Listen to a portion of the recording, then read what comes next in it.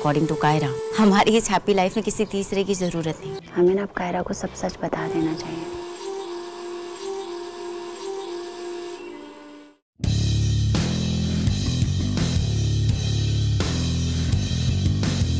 बॉलीवुड में अब तक हैश टैग मीटू अभियान के तहत कई नाम सामने आए हैं।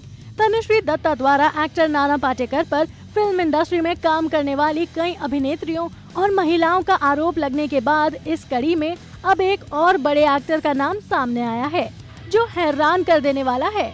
अब हैश टैग मीटू अभियान के तहत दिग्गज कलाकार नवाजुद्दीन सिद्दीकी की एक्स गर्लफ्रेंड और अभिनेत्री निहारिका सिंह ने खुद खुलासा किया है।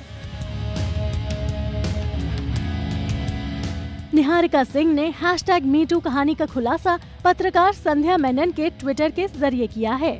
संध्या मेनन ने निहारिका सिंह द्वारा लिखा एक लंबा चौड़ा नोट अपने ऑफिशियल ट्विटर अकाउंट पर शेयर किया। इस नोट में निहारिका ने एक एक करके सभी पर आरोप लगाए हैं। नवाजुद्दीन सिद्दीकी पर आरोप लगाते हुए निहारिका ने लिखा है, मैं उनसे मिस लवली के सेट पर मिली थी। एक सुबह जब मैं घर पर थी, नवाज़ रात भर शूटिंग करके लौट रहे थे। मैंने उन्हें ब्रेकफास्ट के लिए घर बुलाया। जब मैंने गेट खोला तो नवाज़ ने मुझे जकड़ लिया। मैंने उनसे दूर हटने की कोशिश की, लेकिन उन्होंने नहीं जाने दिया। झूमा झपटी के बाद मैं छूट पाई। निहारिका सिंह साल 2005 में मिस इंडिया रही हैं। अभी वीडियो को लाइक करें शेयर करें और अभी चैनल को सब्सक्राइब करें।